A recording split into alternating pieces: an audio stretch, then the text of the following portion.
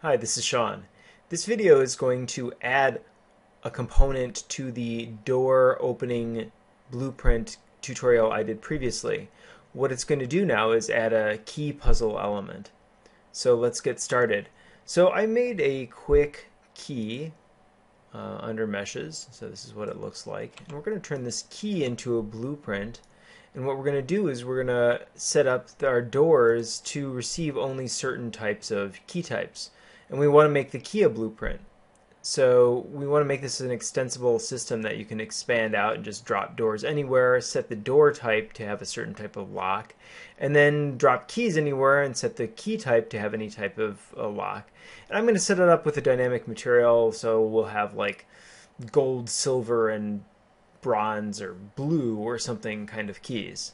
All right, so let's get started. So the first thing we're going to do is just going to create an empty blueprint. So I'm going to right click and we'll just say blueprint class and we'll call this the key blueprint. So key. Okay, let's go in there and we'll just drag this over and we'll bring in our, our key mesh. So just say mesh, static mesh, and we'll say key and I've got the key selected here and we'll just drop that in.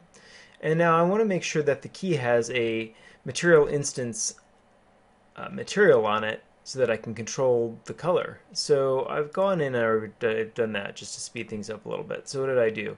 I created a material um, that's metal uh, so metallic is set to 1, roughness is set to about 0.3. I've um, I created a uh, parameter vector 3 parameter node just to so I can control the color. And if I wanted to I could control the glow amount but I think I'm just gonna skip that for this tutorial. So um, so we're good with that. Then what I did was I right clicked on the material and I said create material right clicked, said material instance, so I did that. And now we have a material instance. I changed the color a little bit to green just so we know that it's controllable. And we're going to drop that on the uh, in the blueprint that we created. I'm going to go in and I'm going to drop that material instance on the key. So we'll just go back here, go to materials and green material instance on the key. All right, awesome. So now what are we going to do? I'm going to go into the construction script. I'm going to say for the key, create a dynamic material instance. What is the source material? Uh, was material instance key. Let me just double check that. And then we're going to create a variable. We'll call this key color changer. Uh, we'll promote that to a variable, and that's the name we're going to call the variable. There we go. Key color changer variable. So now we can go into the event graph, and when the um, on event play, uh, we'll say we're going to say uh, key type. We'll give that a an integer variable.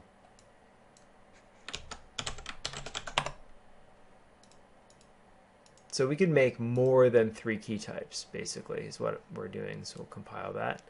And so on the event begin play, we will uh, we're going to do a switch on integer. So I'm going to bring that key type in, and we're going to make that a public variable. So we'll say this uh, set type of key, and we will bring this in. I'm going to hold down the control key, and I'm going to switch on integer. And since for this example we'll have three key types, so I'll just add a couple pins here. So uh, then we will um, say, here's the key color changer variable that we created in the construction script, which will allow us to, um, I don't want to set that, I just want to use it. So I'm going to set the vector parameter value. And so what is the vector parameter variable? It's key color A is what I called it in the material parameter node that I created. So, whoops, it just closed the blueprint. Let me just reopen that. So, I called it uh, key color A. All right, so now let's just copy and paste this a few times.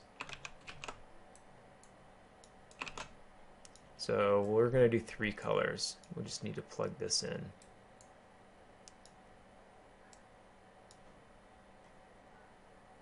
And we'll plug it in here too. So depending on how we set the key number, the key type, we will get sort of a gold key. We'll get a silver key. And a blue key.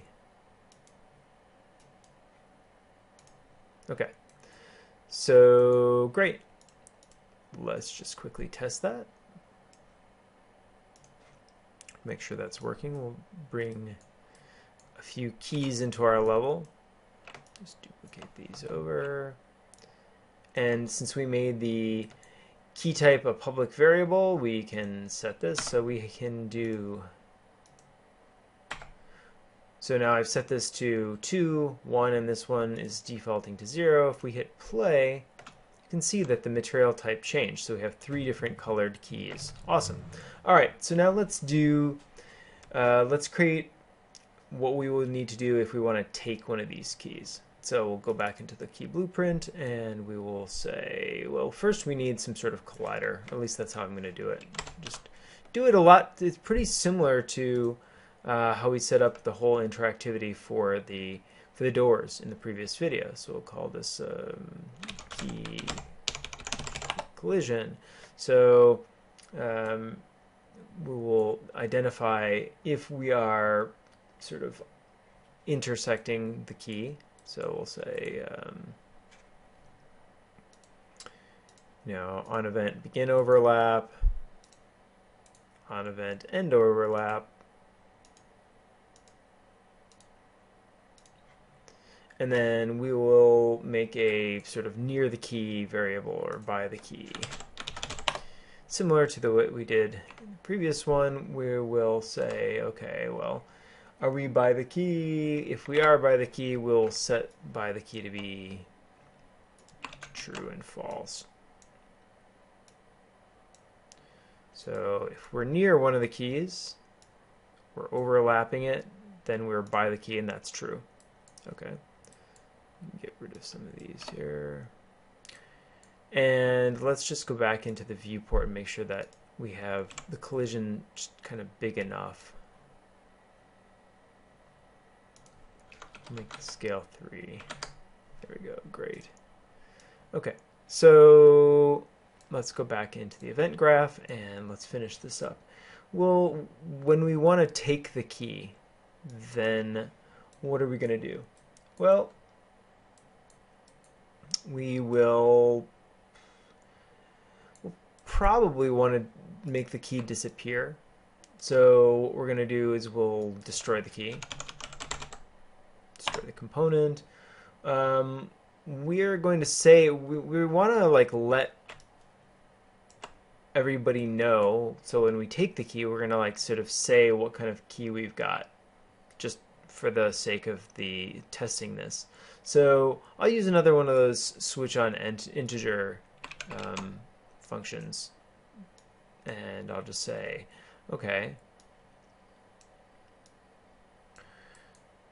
what kind of, I pick up a key, what kind of key have I got? So I'll print, say, you have the gold key. So let's just hook that in three times. So I'll copy